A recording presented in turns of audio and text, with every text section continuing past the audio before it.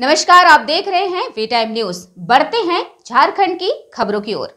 गिरिडीह लोकसभा चुनाव को लेकर बेरमो विधानसभा में आजसू पार्टी के केंद्रीय सचिव बुच्चू सिंह के नेतृत्व में रोड शो निकाला गया।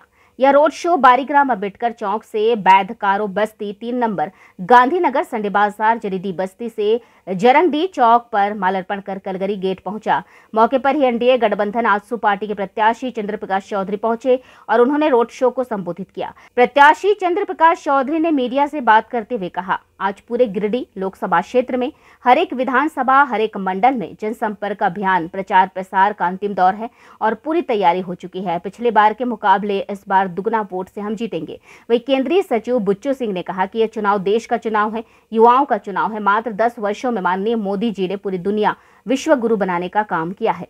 पूरे विश्व के पटल पर अगर कोई देश को आगे बढ़ा सकता है तो वो सिर्फ़ नरेंद्र मोदी जी कर सकते हैं।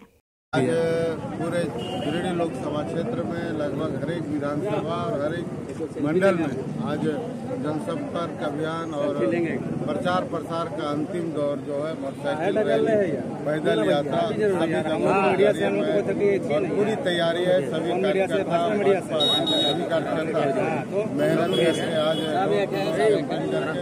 पूरी तैयारी हो चुकी है और निश्चित तौर पर जितना इस बार तैयारी है हम लोग पिछले बार से दुगुना से हम लोग चुनाव जीतेंगे